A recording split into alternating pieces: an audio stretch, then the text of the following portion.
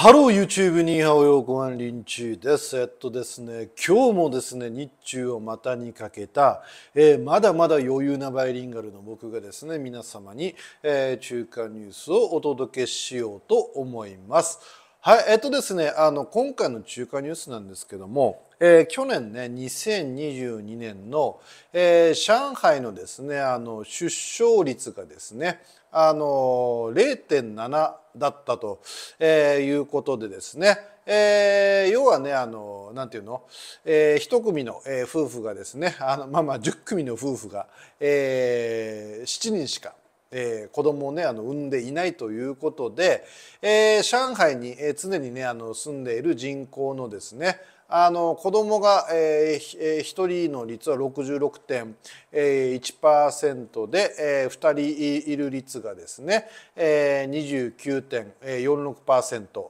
えー、それでねたくさん子供がいる率がですねあの4.5パー、えー、53%ということでですねあのまあそれでねあの韓国が今0.8 8いくつとかになってるのかな、えーまあ、僕はねちょっと韓国のことがねあの全然わからないんで何とも言えないんですけどもね、まあ、韓国より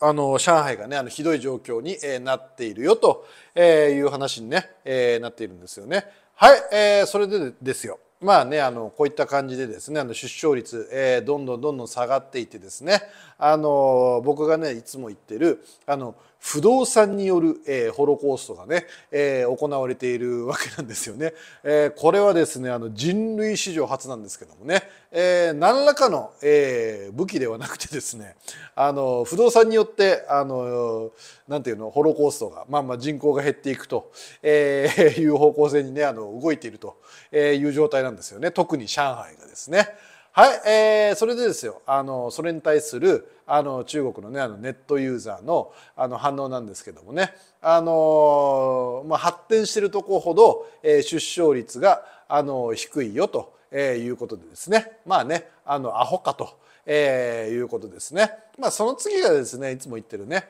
あの僕が言ってる不動産の問題ですよね。あの家という漢字はあの屋根の下の、え豚って書くんですけども、えー、これはですねあの中国国内で、えー、マンションを買うやつは豚という意味でですね、えー、中国国内ではですねあの恋愛感情を持たない、えー、中華メス豚というのがあの9割を占めていて、えー、オス豚のマンションと、えー、後輩とね、えー、繁殖の権利をね、えー、トレードするといったシステムが、えー、確立していてですねあのそれでね持ち家率90何パーセントになって、えー、かつねあの、えー、だからマンション価格が暴騰してね、えー、収入のねあの7割をね、えー、マンションにああの返済に充てなくちゃいけないということでもうね人生ボロボロですよね。あの完全にあのボロボロなんですけどもね、えー、なぜかねそれでねあのマンション手に入れたぞってブーってなってるねあの豚たちがね、えー、たくさんいるわけなんですよね。まあ、本当にねあの見ててね、えー、哀れなんですよね。えー、中にはですねあの子どもの、えー、教育のためっていう人いるんですけどもあの要はねあの中国国内ねあのいい、えー、マンションを買うとですね、えー、学生というものがあって、えー、いい学校にねあの入れるというのがあるんですけどもあのそのマンション代とあと塾代と、えー、その他費用をね、えー、全部、えー、普通にあの金融資産として、えー、運用したらねあのそいつが下手に学校行くよりねあのはるかにいい暮らしができるぞと、えー、普段言ってるんですけどもねあのこれ最近なんか日本で出た本でもねあのその話してますよね。あのななんていうのめちゃくちゃ課金しまくってあの偏差値1.5しか上がんねえじゃねえかと、えー、そんなふうにねその本にはねあの書いてあったんですけどもあのそれよりひどいんですよね。まあ、要はですねあの自分がえー、どんな生活をしたいか、まあ、それからねあの逆算していってあこれとこれが必要だねと、えー、いうふうにねやって、えー、いけばいいのになんかねそのマンション買ってその学校に通わすというのが、えーまあ、目標になっていてですねまあ、これ子供にとってもねあの迷惑ですよね。で最近なんか中国のねあのなんていうのか今の大学生ぐらいの、えー、子たちはですね結構ねあの病気がちでですねなんか精神病になってるのかなみたいな、えー、そういったねあのなんか頭がおかしくなってるのかなみたいなね、えー、とあるね、えー、大学院に入ったね結構優秀な大学院に入った、えー、女性がですねあのおじいちゃんにねあのなんていうの？ほらおじいちゃんなんとか大学院に入ったよと、えー、そういうふうにね渡してる写真があるんですよ。まあ、それねあのウェイボーかなんかに、えー、出していたみたいなんですけどもあの彼女のねあの髪がねあのピンクだったと。えー、いうことでですねあのなぜかねあの中国の、えー、ネットユーザーから、えー、思いっきりねあの攻撃をねあの受けるわけなんですよね。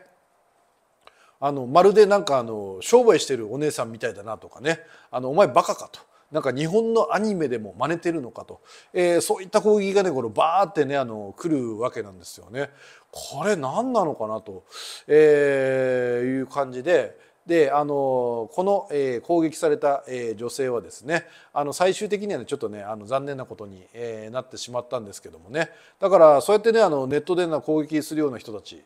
もう出てきてるということですね。何らかのねあの攻撃の先が、え欲しいんでしょうねだから自分は今までこんだけ苦しい思いを、えしてきてあの将来的にはあの何もいいことがないことがねあの予測されるわけなんですよね中国の若者っていうのはね。あの失業率あの公式でねあの青年失業率が20%ということであのいいことがないということがあの期待されるわけなんです。今までねこれだけねあの、長時間勉強、えー、してきたのにねっていうまあまあ勉強の内容がですねあの意味がないと余計なものだということにねいつまでもねあの気づかないという、えー、頭の悪さがあるんですけどもね、まあ、いつも言ってるなんかわけのわかんない漢文を、えー、たくさんあの暗記させられるんだけどもあの兵法を読んだことがないと兵法を読んだことがないと、えー、兵法を読んだでたらあの先に読んでたらねもう本当に、えー、56歳でねそれを読んでたらですねそんなことしなくてもいいいいのかもいいのかもしれないよと、えー、そういうふうにね気づくと思うんですけどもまあ所詮なんかあのなんていうの家畜を育てるための、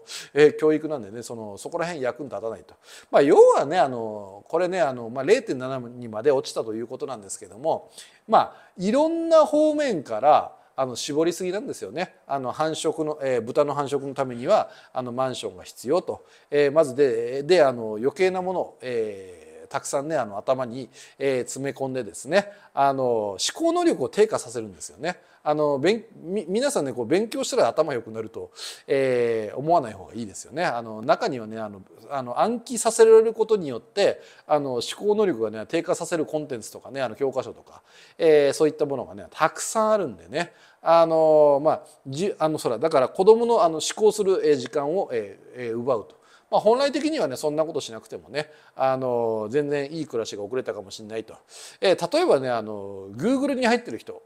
まあ、多分ねあの歴史のテストとかささせたらねあの全然大したことないと思いますよ本当に。あの Google にあの入った時点で、まあ、まあだから余計なことしてないで